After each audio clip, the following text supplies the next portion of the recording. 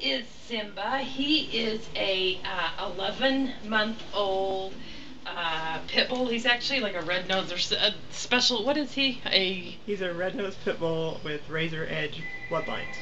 a red nosed pit bull with razor edge bloodlines. That is impressive. He is a very beautiful dog. We just got him.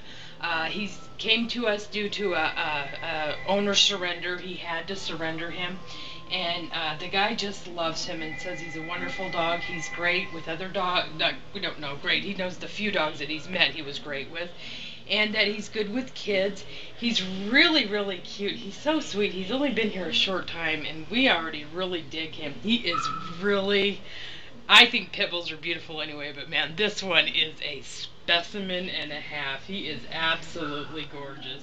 Look at that face. Look at that face. That's a good face. Big old cinder block head. He's beautiful and he's kind of brindly, and but he's got the wings here. He's got wings. He's really, really cool. He's available for adoption at the Rifle Animal Shelter, so come and check this dude out because he's pretty darn cool. You are.